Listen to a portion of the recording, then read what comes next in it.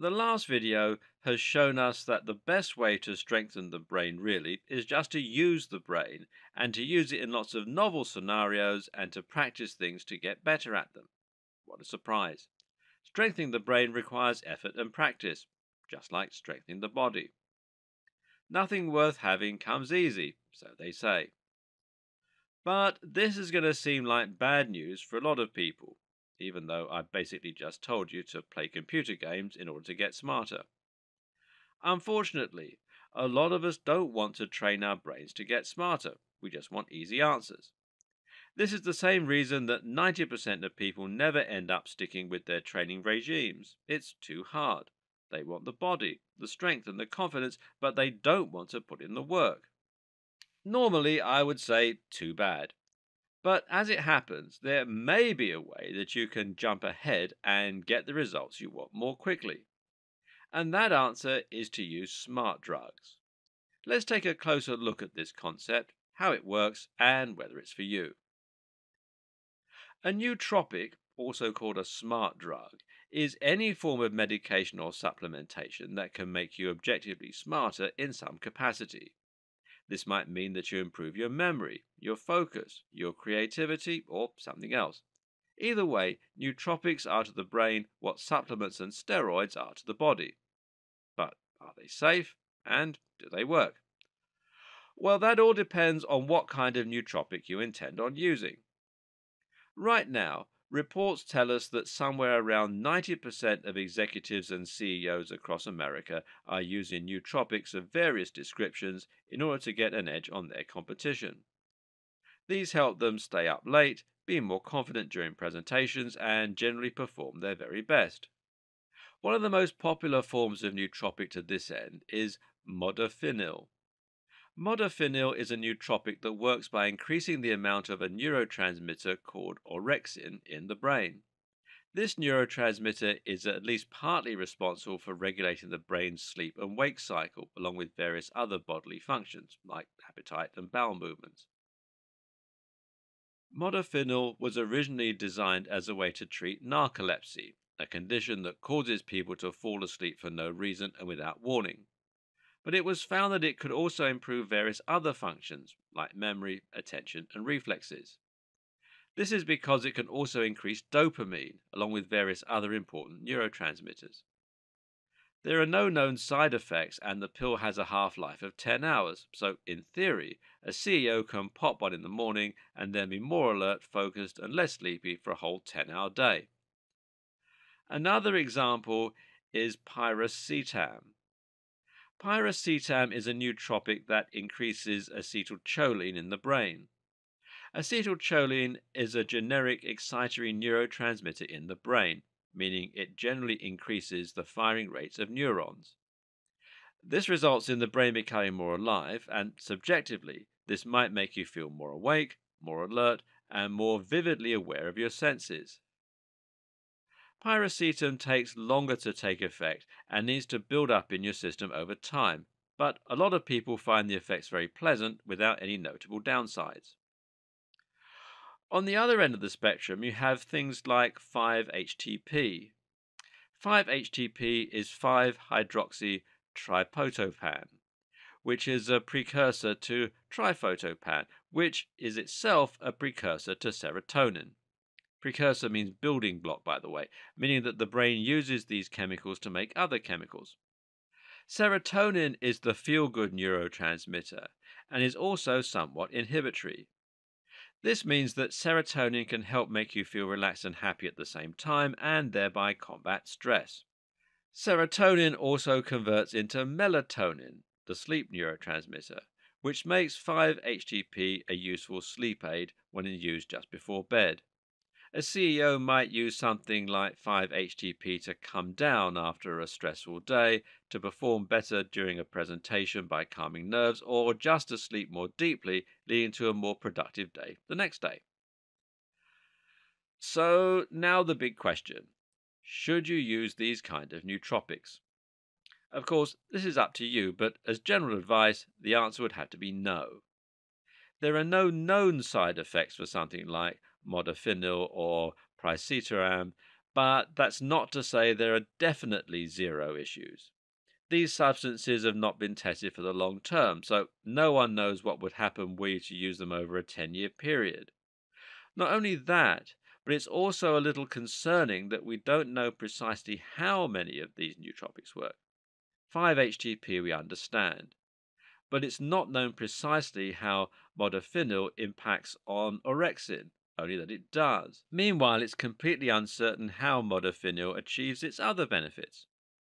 And while there are no official side effects, I can personally tell you that that isn't entirely the case.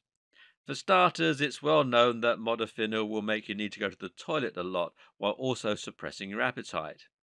This is, of course, a result of it altering the regulation of various bodily rhythms. I also found that modafinil made me bite the insides of my lips a lot as well as grind my teeth, likely a result of having lots of stimulatory neurotransmitters running around my brain. Piracetam will give you a headache unless you stack it with choline, and many people find that even then they can end up with both headaches and brain fog. Some people have reported feeling permanent brain fog as a result of using piracetam. Modafinil also makes me so focused that it isn't always a good thing. When I use it, I become glued to whatever it is I'm doing. If that's work, great. I'll be completely transfixed on work until I finish. But if I have a quick go on a computer game before I start working, then there's a good chance I'm not going to be able to stop. I'm going to complete that computer game before I get any work done. Likewise, crossing the road can be dangerous as I find myself so engaged in what I'm thinking that I can't properly pay attention to the road or to the noises or movement in my environment. I also find it harder to be creative, and this makes sense seeing as an increase in dopamine and norepinephrine is actually associated with a decrease in creativity. We're at our most creative when we are relaxed because this allows our minds to wander. The neuroscience behind this is our brain is forming new connections between disparate neurons that would normally never be associated, which is how invention happens. But when you're highly focused, you become too fixated on one thing, and this time is creativity.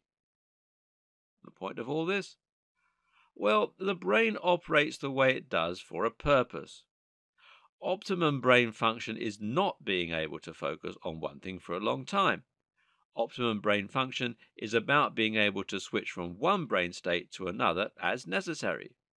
You need to be highly focused when you're working and then relaxed when you're not. You need to let your mind wander when you're trying to come up with new ideas, and then focus up when you're asked a difficult question. When you artificially increase too much of a certain neurotransmitter, you make it very hard to do this and you get stuck in one state. It feels optimum, but in fact it's just an artificial high.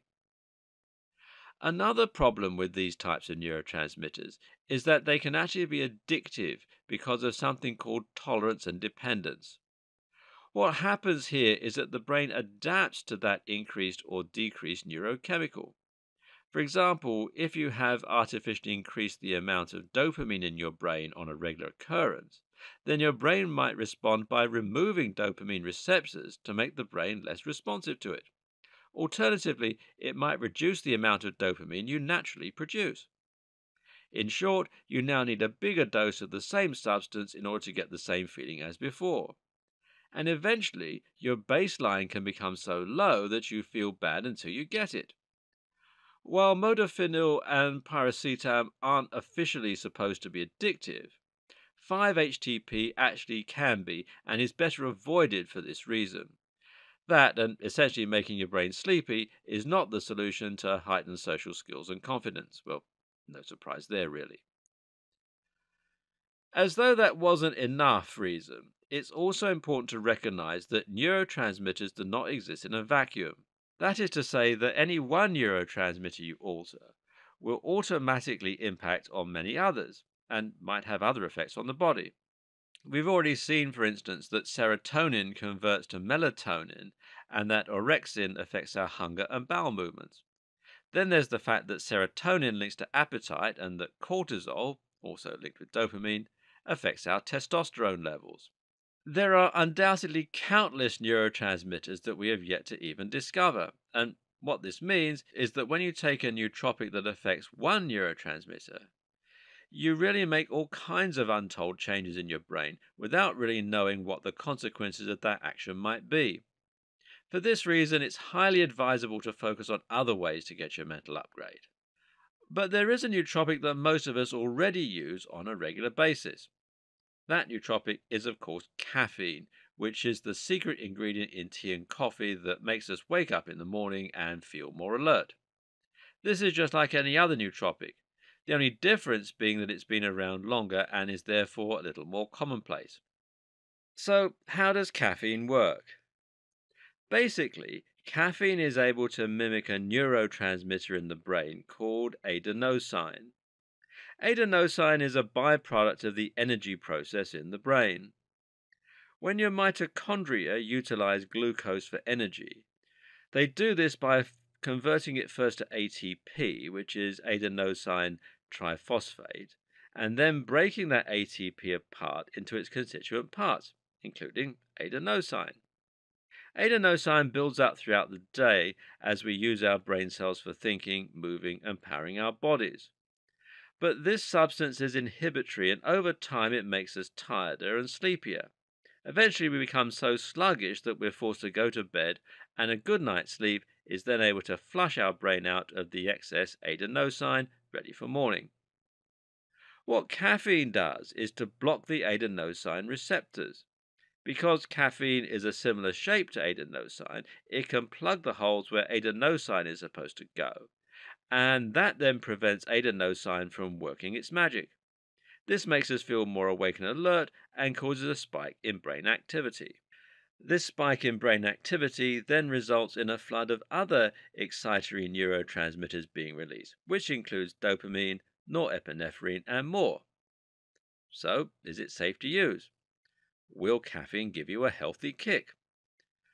Well, yes and no. On the one hand, caffeine has actually been shown in studies to reduce your chances of developing Alzheimer's, and in that sense, it is neuroprotective. It does enhance wakefulness and memory, and it's relatively very safe. At the same time, though, caffeine is also essentially stress in a cup. It works by increasing many of our stress hormones, and this can decrease creativity, as we've seen, while also causing numerous other problems. More worryingly, caffeine is addictive owing to the mechanisms we described earlier. If you become dependent on caffeine, you'll find you can get raging headaches whenever you go long periods without it. What's more, it's actually been suggested that what many of us think of as morning grogginess is actually just a withdrawal symptom from caffeine. In other words, we wake up and feel sluggish because we've gone for so long without caffeine. It's really up to you if you take it or not, but this is an excellent demonstration of the risks associated with nootropics versus the benefits. My advice is to think of all nootropics like laser tools. Stay away from them 90% of the time, but when you absolutely need to get a huge amount of work done, consider using them just for that day.